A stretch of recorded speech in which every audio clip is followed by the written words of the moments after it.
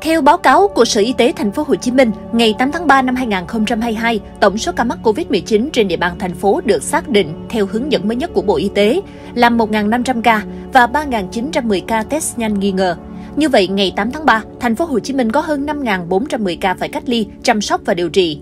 Trong số ca xác định có 1.102 ca sàng lọc tại bệnh viện, 278 ca phát hiện tại cộng đồng do các trung tâm y tế lấy mẫu, 120 ca được lấy mẫu sau khi chuyển vào cơ sở cách ly tập trung quận, huyện và bệnh viện giả chiến.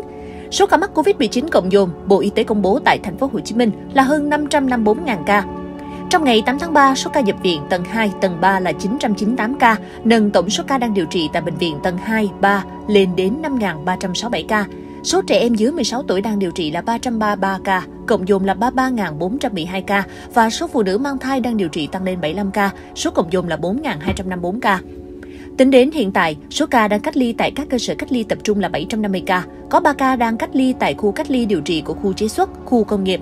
Số ca cách ly tại nhà ngày 8 tháng 3 tăng lên gần 87.000 ca. Số ca mắc và nhập viện gia tăng thì số ca nặng tăng theo tỷ lệ thuận. Cụ thể, số ca nặng có hỗ trợ hô hấp là 441 ca và số ca đang thở máy xâm lấn là 63 ca. Ngày 8 tháng 3, thành phố Hồ Chí Minh có 2 ca mắc Covid-19 tử vong kèm bệnh nền, một ca đến từ tỉnh chuyển lên. Tổng số ca mắc Covid-19 tử vong cộng dồn tại thành phố Hồ Chí Minh là gần 20.500 ca. Thời gian gần đây, tuy số ca tử vong do Covid-19 vẫn duy trì ở mức thấp, nhưng số ca mắc mới trên địa bàn tăng nhanh, tương ứng số ca nặng, số ca thở máy có xu hướng tăng.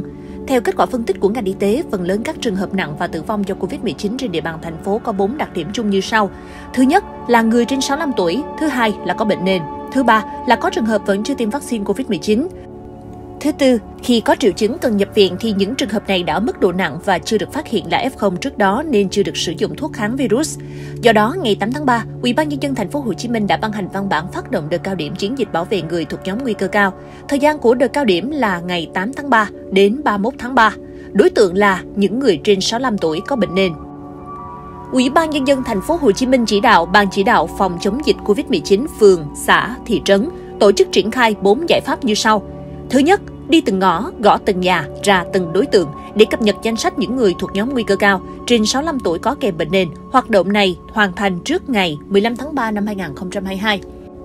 Thứ hai, triển khai thực hiện xét nghiệm test nhanh COVID-19 đối với những người thuộc nhóm nguy cơ cao theo danh sách đang quản lý và danh sách đã được cập nhật. Thời gian hoàn thành xét nghiệm trước ngày 20 tháng 3.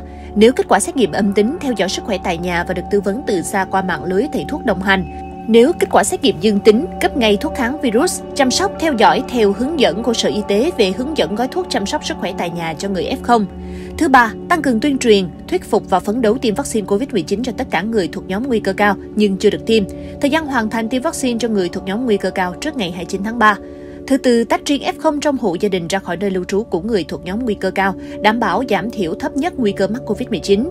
Thực hiện việc theo dõi, cách ly, điều trị cho người sống chung, người cùng gia đình bị mắc COVID-19 cho đến khi khỏi bệnh hoàn toàn mới được sống chung. Tiếp tục chăm sóc người thuộc nhóm nguy cơ. Ủy ban nhân dân thành phố Hồ Chí Minh nhấn mạnh nếu F0 trong gia đình là trẻ em, cần phải cách ly trẻ không để tiếp xúc với người thuộc nhóm nguy cơ cao trong gia đình. Nếu gia đình không đủ điều kiện cách ly riêng thì người nhà nên cho trẻ nhập các bệnh viện nhi để điều trị. Cần lưu ý các trường hợp trẻ dưới 12 tuổi có triệu chứng sốt nên đưa trẻ đi xét nghiệm tầm soát COVID-19 tại các cơ sở y tế.